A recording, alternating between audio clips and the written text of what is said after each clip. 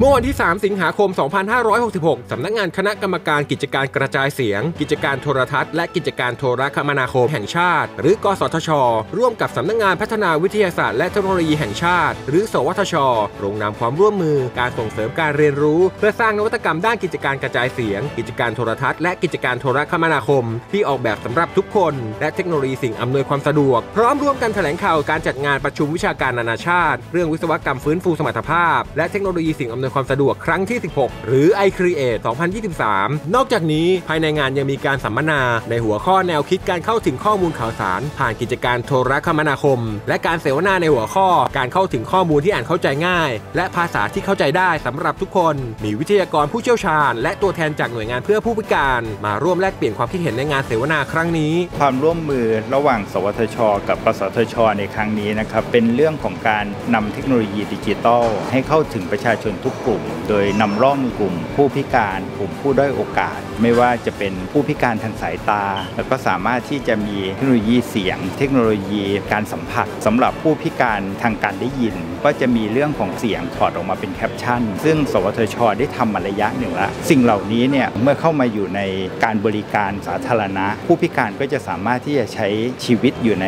สังคมได้ง่ายขึ้น หน้าที่สำคัญของกสทชเนี่ยคือการที่ทำให้ประชาชนทุกกลุ่ม ซึ่งไม่ว่าจะเป็นกลุ่มผู้พิการ กลุ่มผู้ด้อยโอกาสกลุ่มผู้สูงอายุเนี่ยสามารถที่จะเข้าถึงสิทธิในการใช้ทรัพยากรสื่อสารของชาติได้เท่าเทียมกับบุคคลทั่วไป เราเนี่ยให้ความสำคัญในเรื่องที่จะหาวิธีการหรือวิจัยและพัฒนา หรือว่าหาเทคโนโลยีใหม่ๆเนี่ยนำมาใช้ดังนั้นการทำบันทึกข้อตกลงวันนี้เนี่ยทางกสทชเนี่ยก็เชื่อมันว่าเราจะมีการพัฒนานวัตกรรมต่างๆ สามารถนำมาใช้ประโยชน์ได้จริง กับกลุ่มผู้ด้อยโอกาส กลุ่มคนพิการหรือกลุ่มผู้สูงอายุได้อย่างเป็นรูปธรรมสำหรับการจัดงานประชุมวิชาการนานาชาติเรื่องวิศวกรรมฟื้นฟูสมรรถภาพ และเทคโนโลยีสิ่งอำนวยความสะดวกครั้งที่ 16 หรือ iCreate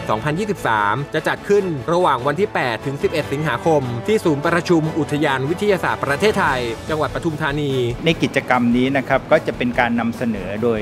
มีโครงการต่างๆ ของเด็ก แล้วก็เอ่อนำเสนอเทคโนโลยีใหม่ๆ ที่เกี่ยวข้องกับการเข้าถึงเทคโนโลยีของคนพิการ นอกจากนั้นนะครับกิจกรรมนี้จะแสดงให้เห็นว่าเทคโนโลยีจริงๆ แล้วยังมีอีกเยอะมากครับ ที่คนพิการสามารถที่จะใช้ประโยชน์ได้ แล้วเราก็ควรที่จะขยายโอกาสให้สิ่งเหล่านี้เกิดมากขึ้นกับสังคมไทยครับในปีนี้เนี่ยกสทช ได้ร่วมสนับสนุนในการจัดงาน iCreate 2023 เนี่ยนะครับกสทช เองก็ได้ร่วมออกบูธนิทรรศการรวมถึงจัดประชุมสัมมนาในหัวข้อ Digital Inclusion ในประเด็นเรื่อง Digital ID รวมถึงการสัมมนาเรื่องใครคือผู้ได้รับประโยชน์จากเทคโนโลยีสื่ออำนวยความสะดวกหรือว่า Who Benefit from Assistive Technology นะครับอันนี้ถือว่าเป็นจุดเริ่มต้นของกิจกรรมที่เกิดขึ้นจากการทำบันทึกข้อตกลงในวันนี้ อย่างไรก็ตามความร่วมมือระหว่าง สวทช และกสทช ในครั้งนี้นับเป็นก้าวสำคัญ ในการต่อยอดการพัฒนานวัตกรรมใหม่ ที่จะนำไปสู่การสร้างโอกาส ให้กับกลุ่มคนที่ยังต้องการเติมเต็มศักยภาพ สามารถเข้าถึงเทคโนโลยีได้อย่างเท่าเทียม